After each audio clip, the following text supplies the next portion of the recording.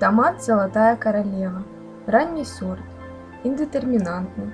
Плод округлой формы, желтого цвета, массой до 120 грамм.